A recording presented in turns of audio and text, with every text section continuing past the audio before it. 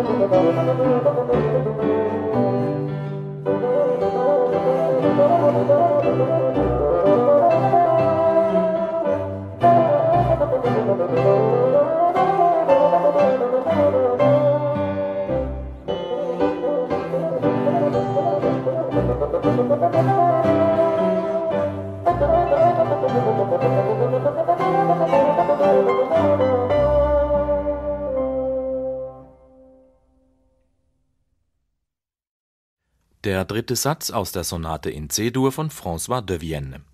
Es musizierten Klaus Thunemann Fagott, Klaus Stoll Violine und Jörg Ewald Dähler Klavier.